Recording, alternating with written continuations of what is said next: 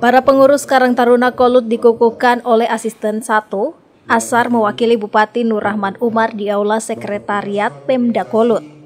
Mereka diharapkan menjadi wadah generasi muda dalam mengembangkan diri dan peka dengan keadaan di lingkungan sekitarnya. Lagi harus dilakukan oleh teman-teman Karang Taruna Kolut Utara yaitu melakukan rapat kerja. Ini yang paling penting sebenarnya.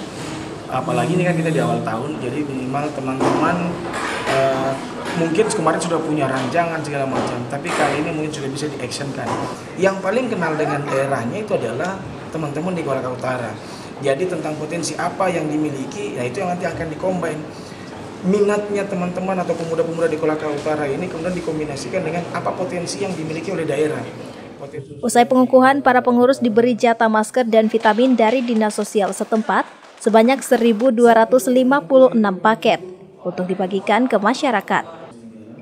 Erwin Randalaju berharap Karang Taruna Kolut konsisten menata dan mengembangkan organisasi serta tidak mengorbankan lembaga untuk kepentingan politik. Dari Kabupaten Kolaka Utara, Muhammad Rusli melaporkan.